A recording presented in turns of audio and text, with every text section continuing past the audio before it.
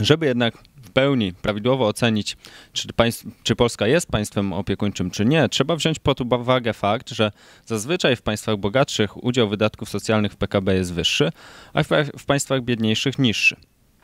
Biorąc pod uwagę ten aspekt, moim zdaniem Polska spełnia kryterium państwa opiekuńczego, to znaczy wydatki, udział wydatków socjalnych w PKB w Polsce jest wyższy niż w większości państw Europy Środkowo-Wschodniej, czyli państw znajdujących się mniej więcej na naszym poziomie rozwoju, choć wciąż niższy niż w państwach Europy Zachodniej czy Europy Północnej. Jeżeli chodzi o strukturę wydatków socjalnych w Polsce, to wyróżniają nas przede wszystkim dwie rzeczy. Po pierwsze, to są wysokie na tle państw Unii Europejskiej wydatki emerytalno-rentowe. Wysokie wydatki emerytalno-rentowe w Polsce nie są uzasadnione obecną strukturą wiekową naszej populacji.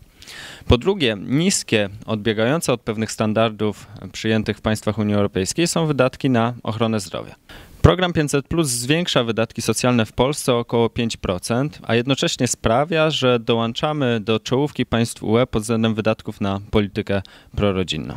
Biorąc pod uwagę fakt, że nasze społeczeństwo wchodzi właśnie w proces dosyć szybkiego starzenia się, największym wyzwaniem dla polityki społecznej w Polsce będzie zwiększenie wydatków na ochronę zdrowia.